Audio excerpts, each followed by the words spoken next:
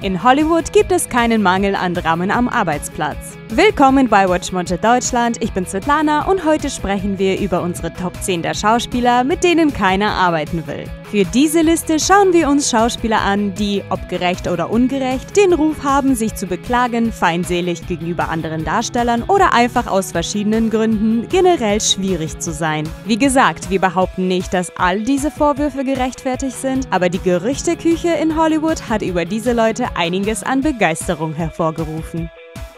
Nummer 10. Steven Seagal The police are looking for you, but I'm gonna have to kill you first. Seagals Auftritte auf der großen Leinwand werden heutzutage immer seltener. Es ist weiß Gott sehr lange her, seit er das letzte Mal einen Kassenschlager hatte. Das könnte damit zu tun haben, dass er am Set angeblich ein Albtraum ist. Seagal wird nicht nur als sehr kritisch gegenüber anderen zitiert, er ist auch dafür bekannt, dass er Castmitglieder körperlich einschüchtert. And he aikitoed me against the brick wall. Pow! Knocked all the air, air out of me. I was like, what? What? Er soll Komiker John Leguizamo gegen eine Wand geschlagen haben, nur weil er ihn ausgelacht hatte. Denn man weiß ja, dass Komiker nicht lustig sein dürfen. Wir wollen es mal so sagen. Henry Rollins hat erklärt, dass er lieber Latexfarbe trinken würde, als mit Seagal zu arbeiten. If you thought you could save the world, nobody would know it, and you might have to give your life in doing it, would you do it? Nummer 9. Thomas Gibson. Uh, all right, everybody, right now, what's my worst quality? Der ehemalige Criminal Minds Darsteller und Regisseur war bekannt dafür, dass er eine ständige Spannungsquelle am Set war. Andere Darsteller haben behauptet, Gibson sei sehr anspruchsvoll und erfordere eine Planung, die sich um ihn dreht. I love Thomas Gibson. Okay. I actually sent him a text when I found out what happened. Did he respond? No, he did not. Schlimmer ist jedoch sein Temperament. Gibson wurde im August 2016 nach einer Reihe umstrittener Vorfälle aus Criminal Minds entlassen. In 2010 soll er bei Dreharbeiten einen Regieassistenten geschubst haben. 2013 wurde er wegen Trunkenheit am Steuer angeklagt, worüber die Produzenten nicht erfreut waren. Dann in 2016 soll Gibson den Autor und Produzenten Virgil Williams getreten haben. I wouldn't have kept kicking, but I was afraid you didn't get my plans. Criminal Minds beschloss einfach, Gibson gehen zu lassen. It's not a request. Nummer 8. Jennifer Lopez. My reputation apparently is pretty solid, so Während Hustlers von 2019 sehr gut aufgenommen wurde, war Lopez früher nicht gerade für ihren guten Ruf bekannt. it's turkey time. Obwohl sie als sehr fleißig bekannt ist, wurde Jenny from the Block in der Vergangenheit wegen sogenannten Diva-Verhaltens ausgerufen. did not just poke me. Don't you touch me, you two-bit tramp. Oh, Es wurde gesagt, dass sie oft lächerliche Forderungen stellt, wie zum Beispiel zahlreiche 5-Sterne-Hotelzimmer, in denen sie übernachten kann, und ihr eigenes Privatflugzeug, damit sie im echten Diva-Stil reisen kann. Natürlich alles auf Kosten anderer, versteht sich. She was supposed to be going to India to perform, but she asked for a private plane. She also asked for an exorbitant amount, that's what they're saying, of hotel rooms for her huge entourage. Und der Knaller, sie weigert, sich aufzutreten, wenn ihre Forderungen nicht erfüllt werden. Wir finden es schade, dass ihre Forderungen im Fall von Geely erfüllt wurden. Gobble, gobble. Nummer 7. Lea Michelle. Glaubt nicht, dass die Besetzung von Glee den Namen der Show widerspiegelte, als die Kameras nicht liefen. Vielmehr nahm Lea Michelle, die eine der Gesangstars Rachel Berry spielte, offenbar die Halsabschneider-Mentalität einer echten Highschool-Diva an, wenn es um das Verhalten am Set ging. Don't use the fact that Jesse and I once had feelings for each other as an excuse for my inevitable win. Berichten zufolge war Michelle unhöflich zu allen an der Produktion Beteiligten, was dazu führte, dass die Besetzung und die Crew herumstanden und lange warteten, bis sie bereit war, mit den Dreharbeiten zu beginnen. Die Crewmitglieder behaupten auch, Michelle habe sich geweigert, mit jüngeren Mitgliedern des Glee-Personals zu sprechen. Darüber hinaus sagte Glee-Co-Star Samantha Ware im Jahr 2020, Michelle habe ihren ersten Fernsehauftritt zur Hölle gemacht und beschrieb wiederholte Fälle von traumatischen Mikroaggressionen gegenüber der schwarzen Schauspielerin. Nummer 6. Christian Bale. Am I gonna walk around and rip your? Wer erinnert sich nicht an Bales augenöffnende Audioaufnahme, die 2009 veröffentlicht wurde? Die Aufnahme von 2008 enthüllte einen Vorfall am Set von Terminator Salvation, bei dem Bale beim Aufnahmeleiter des Films Shane Halbert absolut in die Luft ging, weil er während einer Szene in seine Sichtlinie gelaufen war. No, don't just be sorry. Think. Die Aufnahme ist unglaublich beunruhigend zu hören, da Bell eine bösartige und ungerechtfertigte Tirade auf Hurlbut loslässt. Aber es ist nicht nur sein sprunghaftes Temperament, das die Arbeit mit Bale so schwierig macht. Er ist ein Method Actor, was bedeutet, dass er sich voll und ganz in seine Charaktere hineinsteigert. Wenn man also mit Bale arbeitet, bekommt man nicht nur seine Verrücktheit, sondern auch die Verrücktheit seiner Rollen. Did you know I'm utterly insane? Nummer 5. Bruce Willis. Schaut euch nur den stoischen, harten Kerl an. Scheint das ein lustiger Typ zu sein? You're not good. Laut Kevin Smith, der in Cop Out Regie führte, ist es ein Albtraum, mit ihm zu arbeiten. I've never seen that movie. Er nannte seine Erfahrung mit Willis seelenzerstörend und viele andere Regisseure haben sich über Willis ungerechtfertigte und fehlgeleitete Eingaben bezüglich ihres Regiestils beschwert. I want to see the expression on your face.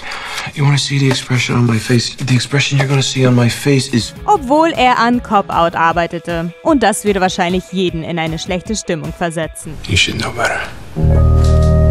Nummer 4. Mike Myers. We're not worthy! We're not worthy! Hebt euren Kiefer vom Boden auf. Wir haben es auch nicht erwartet, aber anscheinend ist dieser Komiker nicht annähernd so lustig wie seine Figuren. That is one crazy get-up you got there, fella. Hey, thank you. Der Austin Power Star wurde ständig als launisch und temperamentvoll bezeichnet und viele beschwerten sich über den Grad der Kontrolle, den er seiner Meinung nach über die Besetzung und die Crew ausüben sollte. It's a very groovy time.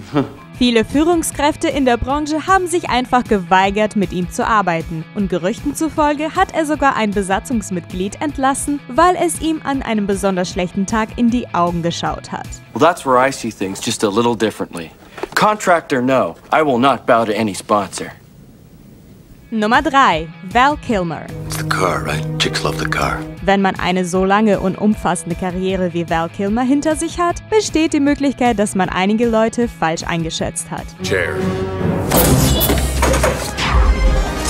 Viele von Kilmers Ex-Freundinnen haben über sein, mh, sagen wir mal, exzentrisches Verhalten gesprochen. Diese Stimmung wurde auch von Joel Schumacher wiedergespiegelt, der in Batman Forever Regie führte und Kilmers Verhalten gegenüber einem Besatzungsmitglied als unhöflich, kindisch und unangemessen bezeichnete. Are you yesterday's news, Bruce? Kilmer soll am Set mit Kameraleuten und der Kostümabteilung geschimpft haben. Ähnliche Äußerungen machte Richard Stanley, ein Regisseur, der an The Island of Dr. Moreau arbeitete, der behauptet, dass, ich zitiere, Val ankommen und es zu einem Streit kommen würde. Until one terrible morning you wake up and realize that revenge has become your whole life. And you won't know why. You can't understand. Nummer 2. Chevy Chase. And I want to look him straight in the eye, and I want to tell him what a cheap, lying, no good, rotten. Wen hat Chevy Chase noch nicht verärgert? Chase, der freundlicherweise als der vielleicht größte Mieselpeter Hollywoods betrachtet wird, wurde als ein unentschuldbarer, grausamer, zähflüssiger, heruntergekommener Künstler beschrieben. Put yourself down now. Schon zu seinen SNL-Zeiten ließ Chase mit Künstlern wie John Belushi, Bill Murray und den Drehbuchautoren die Fetzen fliegen. Er hat die meisten großen Namen der Branche ernsthaft beleidigt, darunter Will Ferrell, Howard Stern, Kevin Smith und Bill Maher. Zuletzt zerstörte Chase die einzige gute Sache, die er mit der Instant-Kult-Klassiker-Show Community am Laufen hatte. Chevy, how you feeling about the Dan Harmon stuff? The what? Dan Harmon. Who's that? Er kritisierte die Serie und den Showrunner heftig, als er noch Mitglied der Show war und war bekannt dafür, dass er am Set extrem beleidigende Auftritte hatte. Wir können uns nicht vorstellen, dass Chase noch viele Freunde hat. Every man should be punched in the face. It's a rite of passage. Bevor wir zu unserer Nummer 1 kommen, hier sind noch ein paar unehrenhafte Erwähnungen. You can stop trying to read my mind, sugar. I mean, no one makes them up. They seem to have made themselves up. My name is Maximus Decimus Meridius, commander of the armies of the North, general of the Felix Legions, loyal servant to the true emperor. I don't like the way this script of ours is turning out. It's turning into a seedy little drama. There is something you could do for me, Doctor. Anything. I mean, yeah. I need a machine gun. Bevor wir weitermachen, abonniert noch schnell unseren Kanal und klickt auf die Glocke, um immer über unsere neuesten Videos benachrichtigt zu werden. Nummer 1. Marlon Brando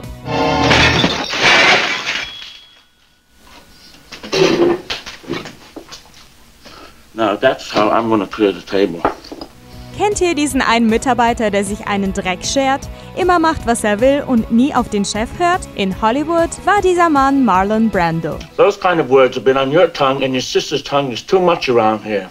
Who do you think you are, a pair of queens? Brando war berüchtigt dafür, Regieanweisungen zu ignorieren und er merkte sich nicht einmal seinen Text, sondern zog er vor, während der Dreharbeiten einfach zu improvisieren, Karteikarten zu schreiben, die irgendwo vor der Kamera liegen bleiben sollten, oder einen Kopfhörer zu tragen. This is the most outrageous spectacle I have ever. Was seine Schauspielerei betraf, ging er auch sehr methodisch vor, wenn die Kameras nicht liefen, was viele Menschen sehr entfremdet hat. Horror and moral terror are your friends.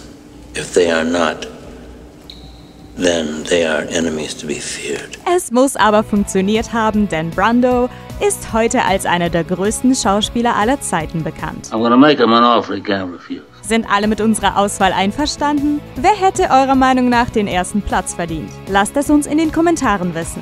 Und wie immer, zeigt etwas Liebe und liked dieses Video, abonniert den Kanal und bleibt immer auf dem neuesten Stand mit den aktivierten Benachrichtigungen.